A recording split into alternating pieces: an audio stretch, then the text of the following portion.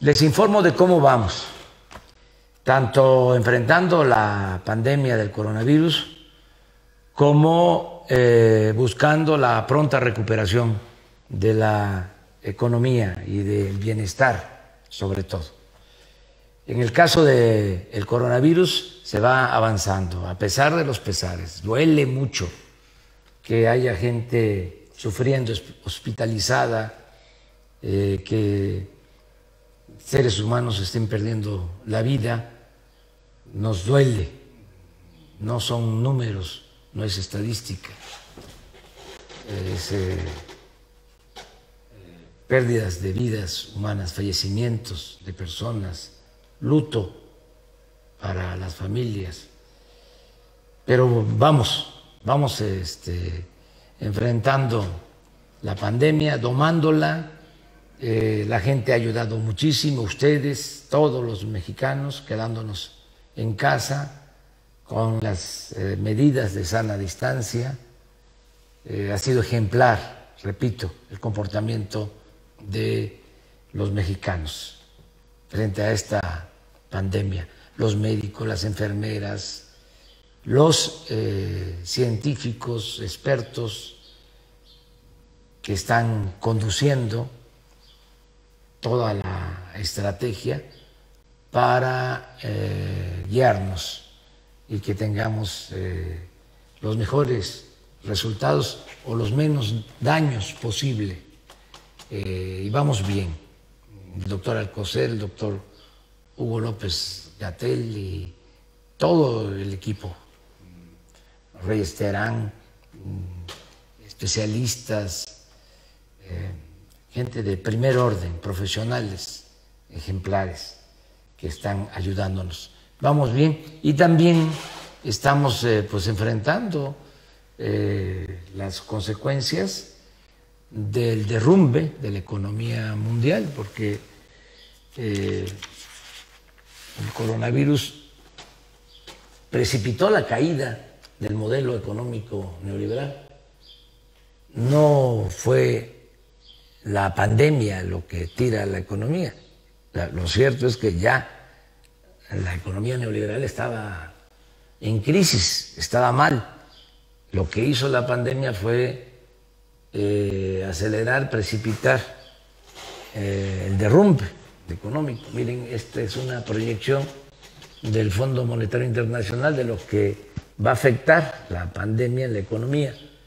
En todos los casos hay recesión en vez de crecimiento, va a haber decrecimiento de la economía. Estados Unidos menos 5.9 se va a caer eh, la economía. Eh, Alemania menos 7, Francia 7.2, Italia menos 9, España menos 8. A nosotros nos calculan menos 6.6. Solo están estimando, fíjense, que va a crecer China 1.2 cuando China por décadas ha crecido en promedio 10% y ahora calculan 1.2, la India 1.6 y todo lo demás en recesión. La peor recesión desde la Gran Depresión desde el crack de 1929 hasta 1933. Ayer eh, se dieron a conocer datos de eh, desempleo en Estados Unidos. Eh, han perdido más de 20 millones de empleos en Estados Unidos. Lo mismo en el caso nuestro. Eh, en enero, en febrero, se habían eh, logrado eh, nuevos empleos. Ya en marzo, menos 130 y tenemos el cálculo, aunque se va a dar hasta el martes próximo, hasta el 12 de mayo, se va a dar a conocer el dato. Pensamos que en abril eh, vamos a estar eh, con menos 500 mil empleos. Eh, la verdad es que se pensaba que íbamos a caer más. ¿Qué nos ha ayudado? Lo que hemos venido haciendo de apoyar a las pequeñas empresas y hacerlo lo más rápido posible eh, miren, en 10 días hábiles, 10 días hábiles, 125.260 créditos a pequeñas empresas que tienen trabajadores inscritos en el Seguro Social. 3.131 millones se les dispersaron a 125.260 pequeñas empresas. Ya también se inició lo del crédito a la palabra para pequeñas empresas familiares.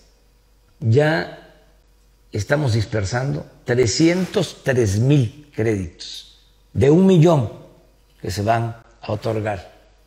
7 mil 594 millones de pesos en 10 días. El programa La Escuela es Nuestra, aquí aprovecho para decirle a la gente que vayan ya a las sucursales del Banco Azteca, los que ya tienen su comité, eh, que vayan ya a sacar sus recursos, sus fondos. Ya se ha dicho, si es una escuela pequeña, hasta de 50 alumnos, 150 mil pesos para el mantenimiento. Si tiene de 50 a 150 alumnos, 200 mil pesos. Si tiene más de 150 alumnos, 500 mil pesos.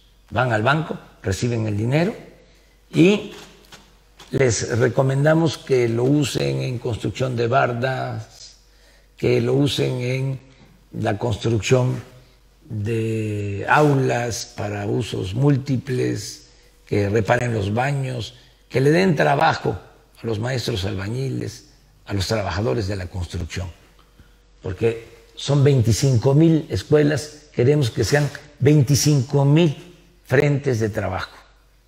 Podemos tener en cada una de estas escuelas trabajando cuando menos a cinco trabajadores de la construcción. Y esto reactiva abajo la economía. Son casi 5 mil millones los que se están dispersando. Para tandas del bienestar, 67 mil créditos, 405 millones. En total, les decía, en 10 días hábiles, 16 mil millones de pesos. Pero en mayo tenemos pensado que se van a entregar de todos los programas sociales de manera directa. Vamos a dispersar en mayo 132 mil millones eh, de pesos, de todos los programas. Eh, sembrando vida, jóvenes construyendo el futuro, los créditos para vivienda, toda la eh, actividad, toda la acción para el bienestar eh, las becas para los jóvenes, eh, todo lo que se está eh, bajando de recursos. Y lo queremos hacer rápido, entregar estos 132 mil millones en mayo, 101 mil en junio, 123 mil millones en julio.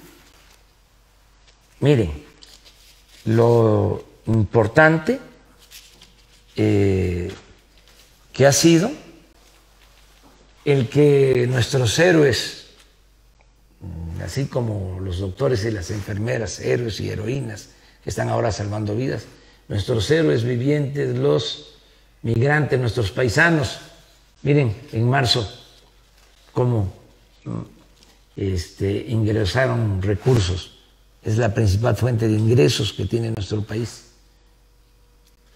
Cuatro mil millones de dólares, como subió en marzo a pesar de la crisis. Y tengo información que así viene abril. Muchas gracias, paisanos, por ayudar, porque todo esto va abajo. Estamos hablando de 10 millones de envíos. En promedio, cada envío, 380 dólares. Son como 9 mil pesos. 10 millones de familias pueden ser 9 mil pesos cada familia de las remesas. Esto ayuda mucho. Entonces, lo que estamos haciendo es inyectando recursos y eso también va abajo, a fortalecer la economía eh, popular. Nosotros pensamos que de esta manera vamos a lograr la recuperación de la economía. Ya vamos a dar a conocer la semana próxima, espero que el miércoles, el plan de reapertura de la actividad productiva, de la actividad económica, de la actividad social, de la actividad cultural. Es decir, el término de la cuarentena. Claro, vamos a reiniciar con mucho cuidado, poco a poco, con medidas eh, sanitarias, para que no se complique la situación. Llevamos ahora eh, buenos eh, resultados en lo que cabe, porque ya dije, duele mucho que se pierdan vidas humanas, aunque sea una persona la que pierda la vida. Aquí estamos hablando, desgraciadamente, hasta ahora, de un poco más de tres mil mexicanos que han perdido la vida. Nuestro pésame a sus familiares. Pero, aunque son malas las comparaciones, lo que ha pasado en otras partes ha sido mucho más eh, lamentable. Nosotros hemos podido salir eh, adelante y eh, estoy mm, seguro de que por su fortaleza cultural, por su grandeza, México y su pueblo va a salir eh, de esta crisis y va a ser para bien de todos. Tengo otros datos, pero creo que con esto es este, suficiente. Nos vamos a seguir viendo, encontrando por este medio. Yo les voy a seguir informando de cómo vamos. Eh, ya también, y es buena noticia, eh, se está recuperando el precio del petróleo, se había caído, miren esta gráfica, ¿cuánto se cayó? Como nunca, mm, estaba menos cero, y ahora ya la mezcla mexicana de barril de petróleo está en 21 dólares, 21.89. Esto es muy bueno. Otra buena noticia es que de enero a abril, y eso también muchas gracias, de enero a abril no se nos cayó la recaudación.